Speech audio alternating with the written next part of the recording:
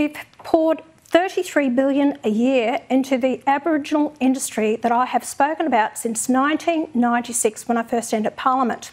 You have that many bodies out there, um, councils, people advising. She has got the biggest voice in this country as Minister for Aboriginal and Torres Strait Islander Affairs. She's not suppressed, she's not oppressed, she can have say whatever she wants to say. In the Constitution, section 5126 of the Australian Constitution, it says the government can make specific laws for any race. We can do that now. Why do they want to put it in the Constitution? It's purely for the base. They want an independent, race based black state. And that's what the people have to understand.